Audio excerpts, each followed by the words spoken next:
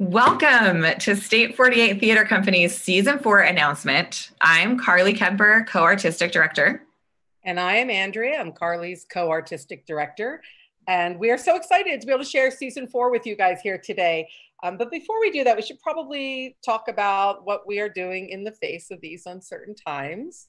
Um, before we dive into the safety precautions, which Carly's going to share with you, uh, I we just want to assure you that we want to put on our classic and original production safely.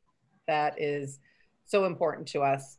Um, so this might mean reduced audiences, no audiences, changing the way we deliver the um, production to our audiences. Uh, for example, what we have coming up is Little Red Riding Hood, or excuse me, the possibly true tales of Little Red Riding Hood. And um, we are going to film that one in our theater in masks. And then we are going to deliver that to you with our cast members live for you to ask questions of, interact with, etc.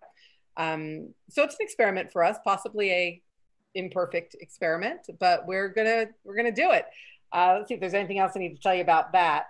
Um, oh, our first show of the season that we're going to get to in just a moment will start with online rehearsals for sure, and um, then move into small group rehearsals. But I'm going to let Carly tell you a little bit about how we're going to stay safe during that time.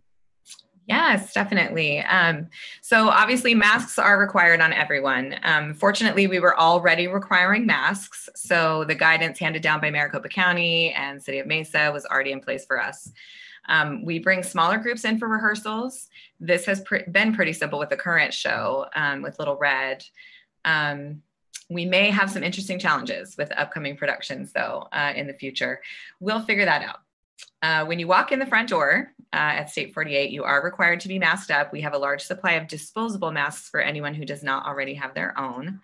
Um, you are required to use hand sanitizer right away upon walking in, um, and hand washing and hand sanitizing is encouraged throughout the rehearsal period. Um, we are regularly changing our HVAC filters, and we're using two brand new giant air purifiers throughout the rehearsals. We have a weekly professional cleaning service coming in, and we also all pitch in and wipe down chairs, surfaces, props, um, at the end of each rehearsal. We've also reduced or eliminated, where possible, any contact on stage between performers. Um, fortunately, we do have some family members involved in the current production, so they've been able to have a little bit of direct contact. Um, one of the things that we love about State 48 is being able to teach our young people about safe stage combat. But unfortunately, for now, we've had to simplify or eliminate some of our fun fight scenes. Safety first. Yeah, I'm not going to lie, Carly. we have a very interesting challenge ahead of us with our first production because um, it usually has a lot of contact. We're going to have to find an interesting and uh, great way to do this contactless Agreed. So, should we get started uh, letting people know what that first show is going to be? Um, tonight, we have invited some near and dear performers and directors and board members to give you a little tease. Um, the slot one tease features one of our favorite leading men, um, he has starred in many of our youth productions and our community productions. Um, the fact that he was available to us was one of the unexpected side effects of the coronavirus. Um, Parker was preparing to leave on his mission when the world shut down. Uh, while I have no doubt that that was frustrating for him, it was a boon for us. It meant that he was available to serve as the assistant director on Little Red, which has been great. And he was also available to help us out with this season announcement. Um, before we jump to his tease, can we take a look at some of the guesses on Facebook for this production, Andrea? Well, my first clues went a little bit astray. I said traditional and boom, it went in the wrong direction. Um, yeah, it's it's not Fiddler on the Roof. Um, I meant traditional in that each season we do a show by this particular writer um, anyway, somebody did make a spot on guess right away, and that was Chris Valenzuela. And before Chris Valenzuela, everyone goes and searches to see what he said. Let's watch our tease. All right, let's roll the video, Justin.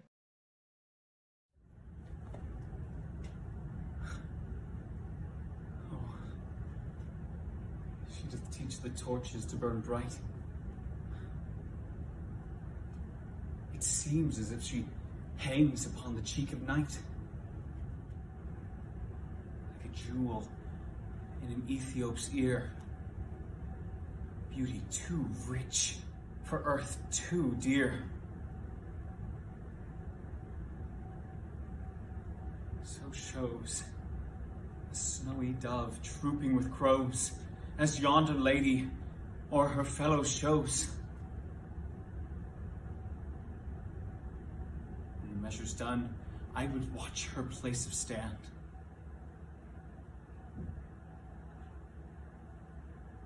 And touching hers, make blessed my rude hand.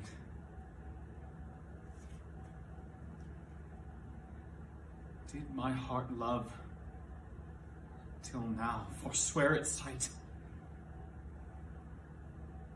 For I ne'er saw true beauty till this night.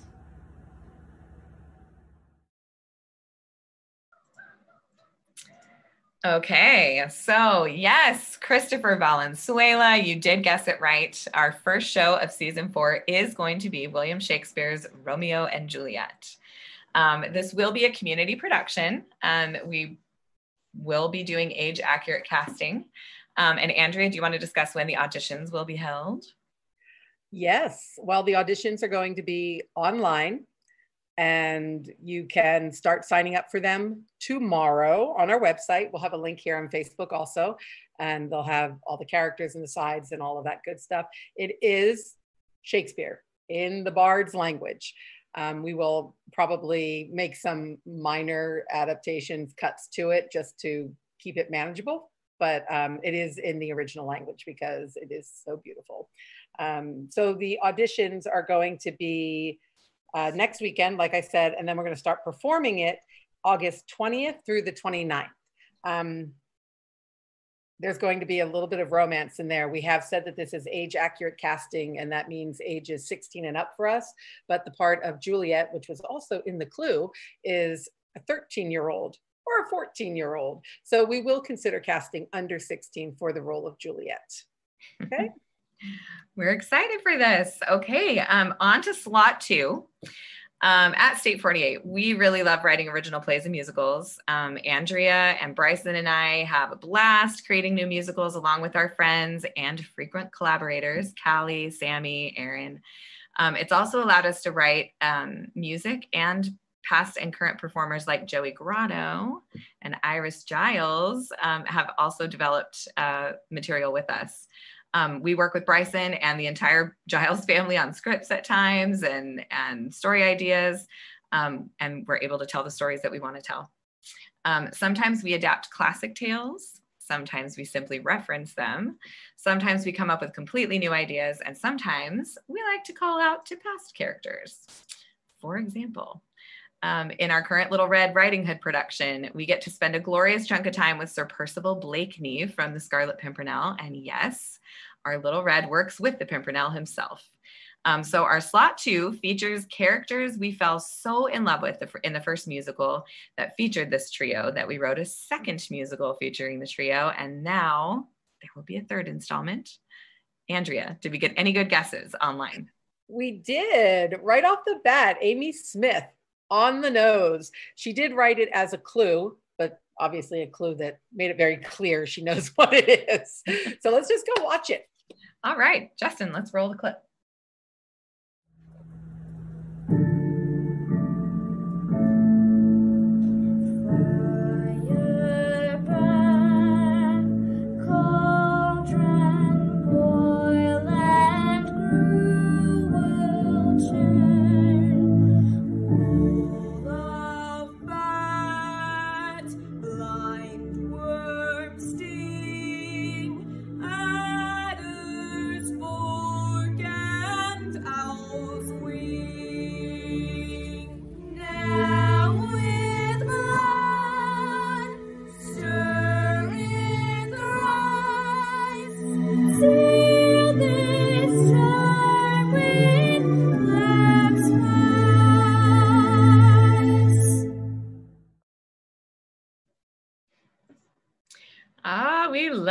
Witchy sisters. Um, so, can you tell us any more about the junior musical, Andrea?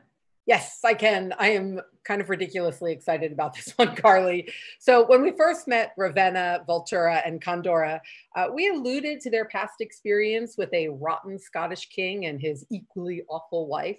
Uh, many folks instantly made the connection to Shakespeare's Macbeth, uh, the implication being that the witches are the same three witches from Macbeth. Then we brought them into our Merlin and Morgana world. And intimated at the end of that play that they were now on their way to Scotland to meet Macbeth. Um, it suddenly seemed so obvious to us. We were sitting around talking, and it and uh, actually it was one of our cast members who first pitched the idea. But it was like, woo, yeah, that we should do a third story, and we should fill in that blank that we'd referenced to in both our other plays, and tell the story of Macbeth from the perspective of the three witches. So we now have The Weird Sisters, an original musical that we're going to be auditioning, junior musical, on August 5th. And performances will start September 30th. Yay! So we're excited about a third part of the trilogy there. Um, that should be a nice, happy musical. so, how do we follow up such a cheery Macbeth based musical let's ask the lovely, sweet Jackie Beltran for a little help here. Justin, roll. Are you ready to be terrified? Join us for Ghost Alley, where we no. we... No? It's Spook Alley. Got it. Are you ready to be spooked? Join us for Ghost Alley, where we... No! What? Join us for Spook Alley. Got it. Are you ready to be spooked in our spooky Spook Alley? Join us for a spookalicious spook fest of an event at our Spook Alley where we will spook you. Yep, just like that. So let me make sure I have this correct. We'll be doing something spooky for Halloween then? Yes. Spooky. Spookalicious. Spookorama. Spooky. I'm pretty pretty sure we got that. Um, okay, so Spook Alley is coming back October 27th and 28th. So watch out for something a little different with that this year. Um, okay, so right into slot four. Before we jump to our on and off stage dynamo, Sammy Markley, um, let's check out what Facebook had to offer in the way of guesses for this one. Okay, so these might have been my favorite answers. Uh, seriously, Katie Springer got it right off the bat. But my favorite answer, I got to give a special shout out to Matt Snell, who landed the best answer Sisyphus for the win. No, we're not doing anything with Sisyphus, but that was an awesome answer all the same. Thank you, Katie and Matt, for playing along. Uh, let's check out what Sammy has to say. All right, let's roll the clip.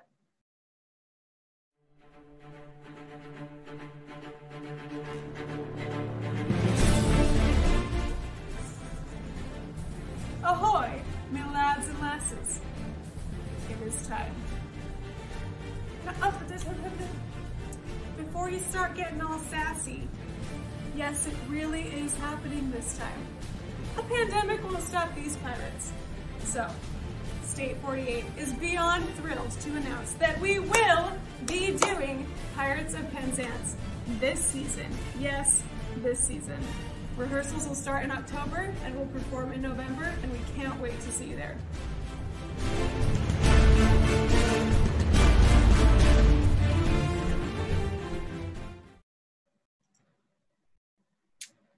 Right. Yay. We cannot wait to get back to work on this one. Um, it was delayed, but it lives on.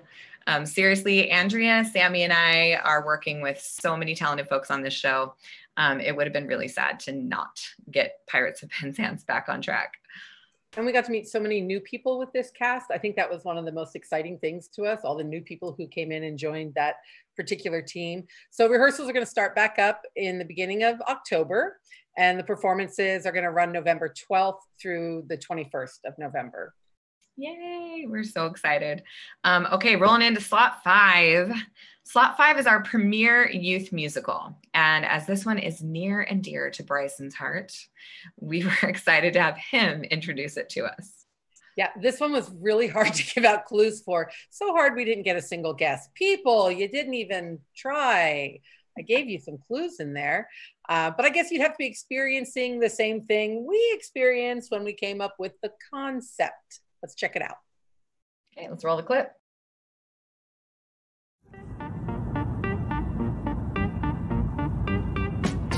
Oh, hello. I almost didn't see you there.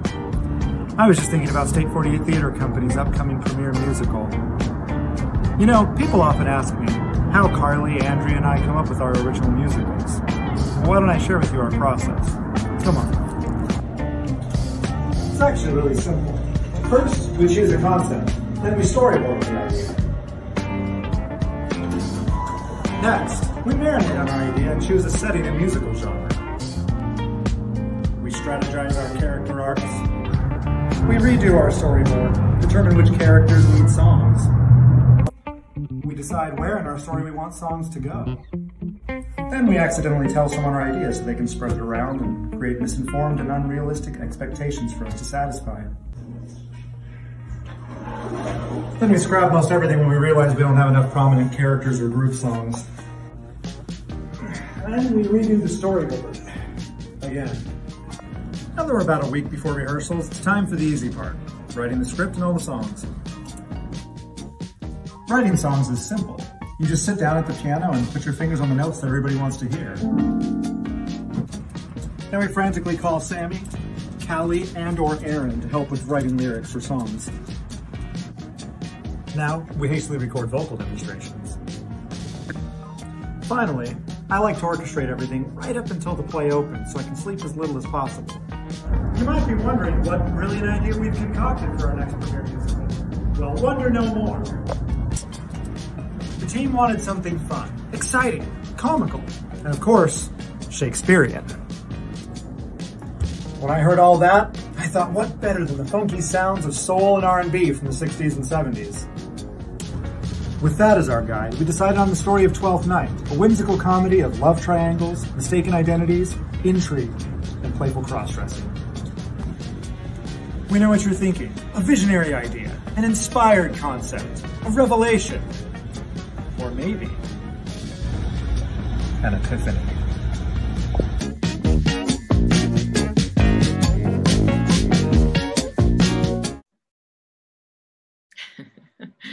Okay, so this totally takes me back to uh, the old show choir days when Callie and I were running the group and it was called Funky Town. Uh, so I really can't wait to see what we do with the dancing for that one. Um, and I love the 12th night storyline so much. Um, we saw a little bit of it in last season's Leading Ladies, and I've always loved She's the Man, a criminally underrated adaptation. sure. okay. we're going to start auditions for this production December 4th, and we're going to perform it February 3rd through the 13th. Um, at this point, you might be sensing a theme, a whole lot of love for the Bard.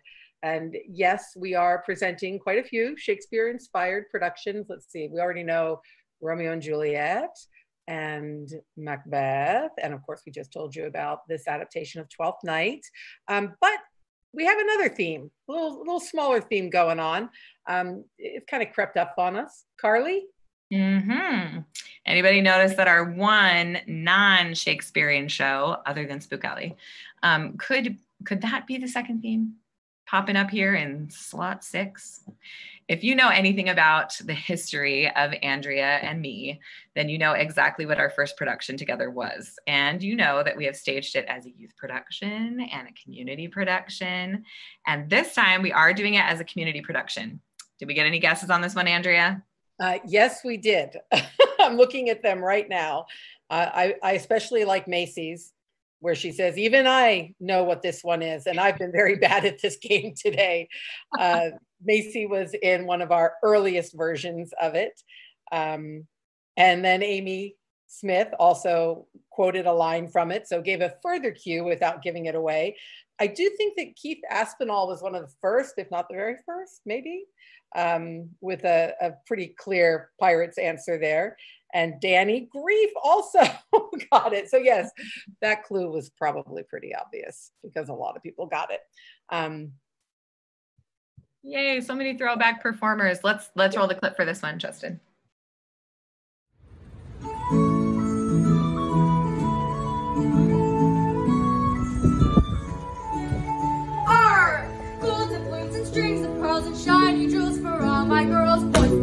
Color flag and furl up here for all to see. Every time we start a fight, we'll hear the screams at red the night. We'll take everything inside. They have to pay the fee. For the chest of gold, we'll brave stormy weather as we rule the seven seas. Gold doubloons and strings of pearls and shiny jewels for all the girls. With the treasures of the world,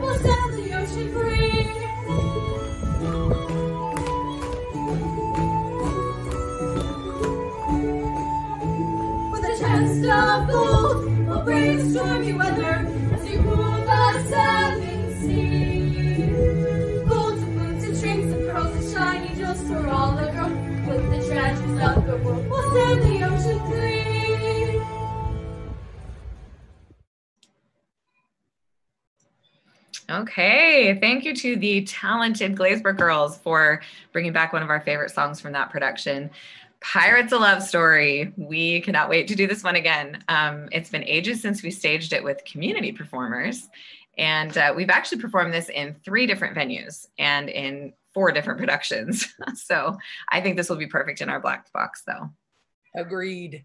Uh, let's see, auditions are going to be held right at the beginning of 2021, January 2nd and 3rd, and performances will run March 3rd through March 13th. All right, what's next, Carly? Okay, so we got slot seven. Um, this is one of my favorite plays that you've adapted. Is it okay to say that? um, I remember uh, that you said the music video, What Goes Around Comes Around by Justin Timberlake, was your visual inspiration. Um, so Kylie Webb is actually going to give us a little tease on this play. Um, and wasn't she one of your stars the last time you staged this? Yes, she was. It has been wonderful working with Kylie through the years. Uh, let's see, she's been in our youth and our community productions. We just saw her in Leading Ladies recently. She's been a stage manager, an assistant director, and right now she's knocking out some really great writing in our um, words, words, words script writing group. I think we'll definitely see some of her work up on our own stage here, not too far away. So let's check out her teaser. Yay, we love you, Kylie. Let's roll the clip.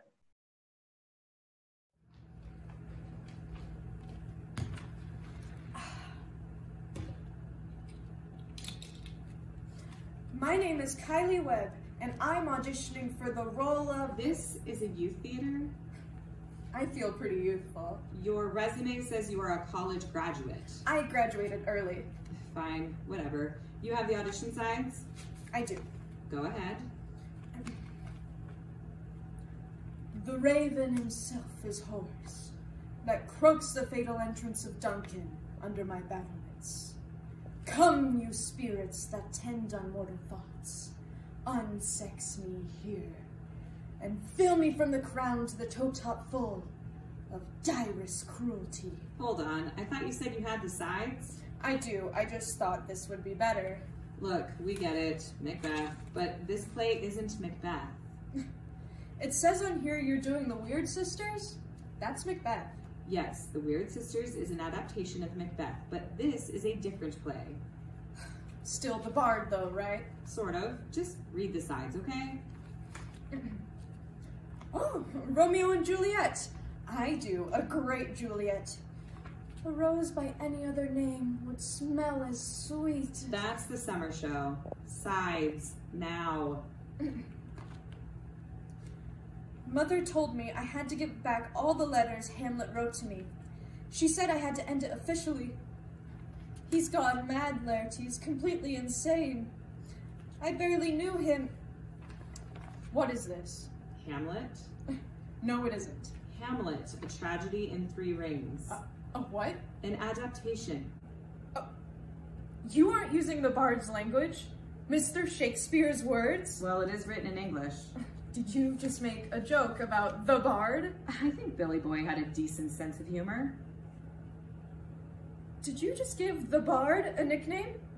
Who are you people? People who love Shakespeare, like really, really, really love Shakespeare.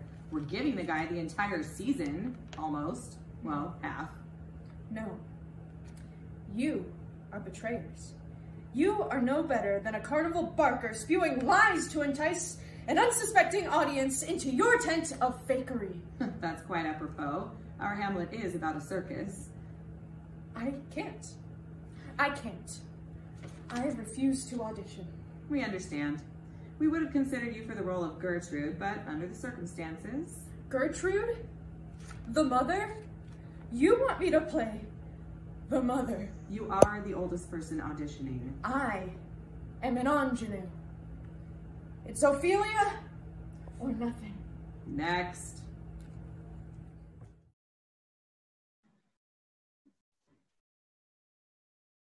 Okay, so Hamlet, A Tragedy in Three Rings. Such a great show. Um, so, this is placed in the early 20th century and revolves around a Russian circus family. Um, Andrea, how close would you say your version follows the Shakespeare's version? Very closely. You might be surprised how well a tarnished Russian circus wintering in Florida can fit into the story of the Prince of Denmark avenging his father's murder. Um, we've had really wonderful young actors play the lead roles in this show in the past. Uh, Cale Burr played Hamlet at the age of 13. Uh, Katie Arnold, one of our favorite performers, you might have just seen her um, this past season starring in As You Like It. Uh, Kylie Webb, who you just saw, has played Ophelia in it. Joseph Paul was another one of our Hamlets, and Zach Deepstroughton was in it. Uh, I cannot wait to put this on here at State 48. I'm really excited. I am as well. Um, so that one is going to audition at the end of February, and it runs April 28th through May the 8th. Yes. Oh, I um, did we mention it's for premiere? So probably eight to 19 year olds in that show. We do have roles for younger kids and up through like 19 year olds. Yeah. Okay. So what are we doing for slot eight? Okay, well, you gave some good clues on Facebook, but we really can't reveal it just yet. Um, we can't even confirm the good guesses on Facebook. Um, but we can say uh, that it will be a junior musical. Um, I think we might have a video to share with you that has absolutely nothing to do with our last production of the 2021 season. Seriously? Nothing? Nothing to do with it. Why are we showing it then? Uh, just because it makes me happy. and uh, it does feature Callie Overstreet singing and dancing. Um, and she is a frequent choreographer of ours and would be a choreographer on this particular show. Uh, let's just watch it and uh, end on a happy note. What do you say? Justin, roll a clip.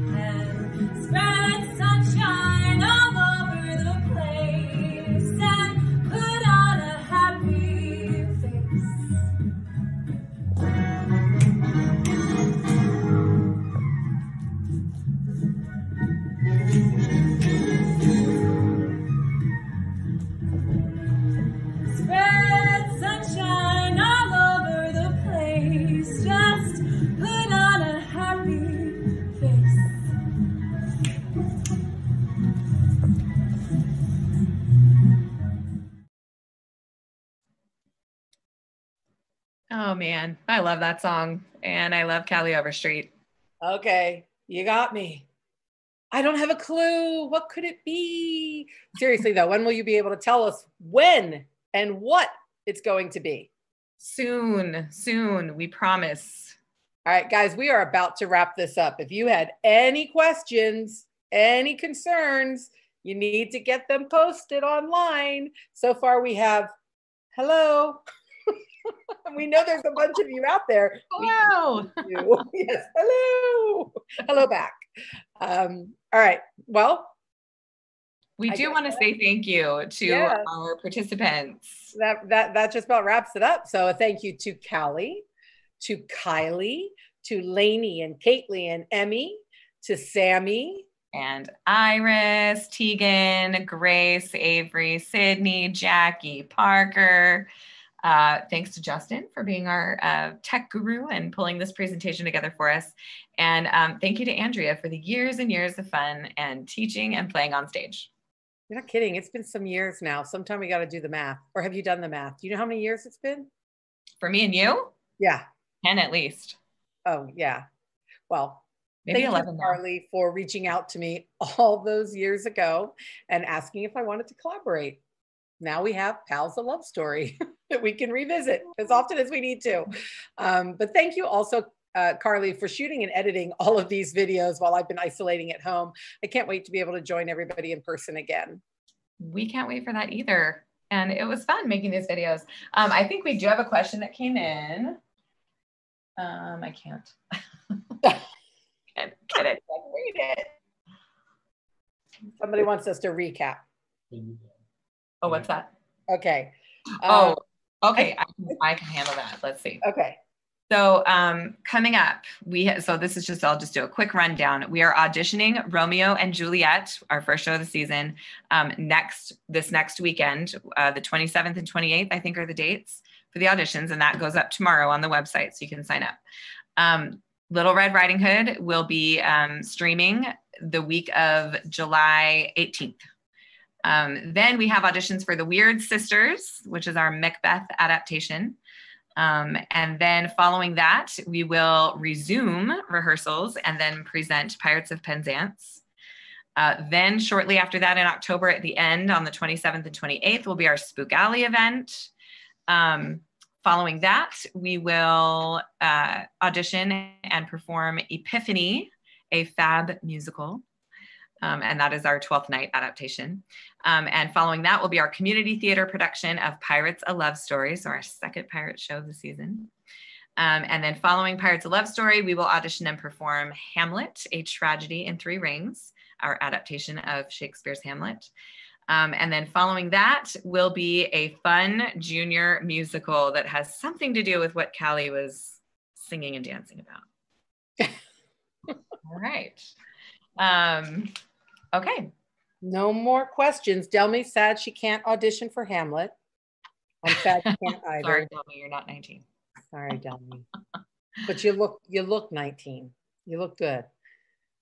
Okay, so yeah, we we will wrap it up here. We did want to give a final shout out and encourage you to watch uh, to the cast of the possibly true tales of Little Red Riding Hood, and encourage you to watch that with us. Um, we will have information coming on our website and on our Facebook page for how you can um, check out that video. Andrea, I'm stealing all of your thunder here. We are so glad you joined us today and you can tell people the videos here if they want to check it out later it will remain available to watch and obviously we'll get some posters and fun information up soon. Thank you guys. And happy Father's Day! Thanks for joining us on Father's Day.